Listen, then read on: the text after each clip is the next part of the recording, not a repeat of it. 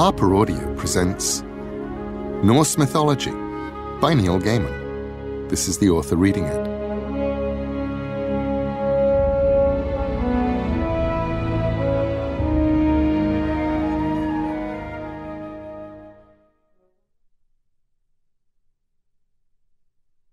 For Everett Old Stories for a New Boy. An Introduction it's as hard to have a favourite sequence of myths as it is to have a favourite style of cooking. Some nights you might want Thai food, some nights sushi, other nights you crave the plain home cooking you grew up on. But if I had to declare a favourite, it would probably be for the Norse myths. My first encounter with Asgard and its inhabitants was as a small boy, no more than seven, reading the adventures of the mighty Thor as depicted by American comics artist Jack Kirby in stories plotted by Kirby and Stan Lee and dialogued by Stan Lee's brother, Larry Lieber. Kirby's Thor was powerful and good looking, his Asgard a towering science fictional city of imposing buildings and dangerous edifices, his Odin wise and noble, his Loki a sardonic horn helmeted creature of pure mischief. I loved Kirby's blonde hammer wielding Thor, and I wanted to learn more about him. I borrowed a copy of Myths of the Norsemen by Roger Lancelyn Green and read and reread it with delight and puzzlement. Asgard in this telling was no longer a Kirby esque future city, but was a Viking hall and collection of buildings out on the frozen wastes. Odin the Allfather was no longer gentle, wise, and irascible but instead he was brilliant, unknowable, and dangerous. Thor was just as strong as the mighty Thor in the comics, his hammer as powerful, but he was, well, honestly, not the brightest of the gods. And Loki was not evil, although he was certainly not a force for good. Loki was complicated.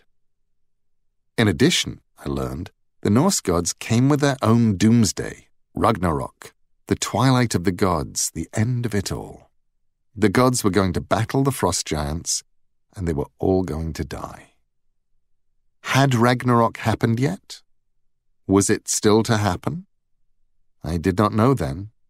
I am not certain now.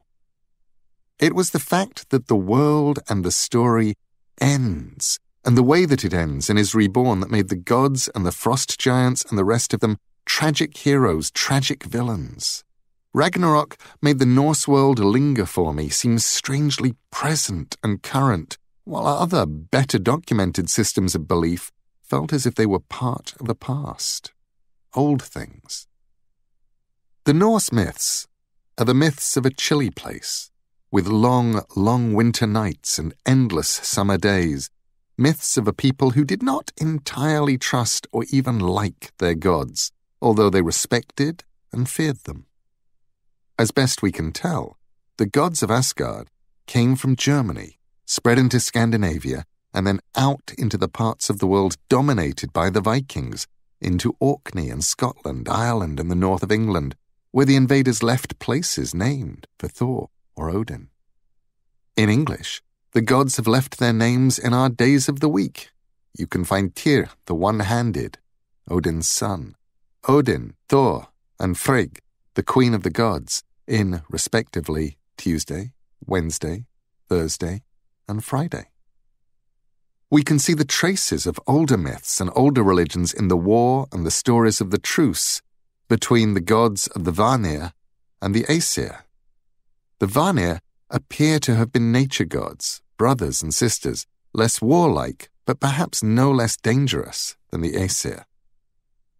It's very likely, or at least a workable hypothesis, that there were tribes of people who worshipped the Vanir and other tribes who worshipped the Aesir, and that the Aesir worshippers invaded the lands of the Vanir worshippers, and that they made compromises and accommodations.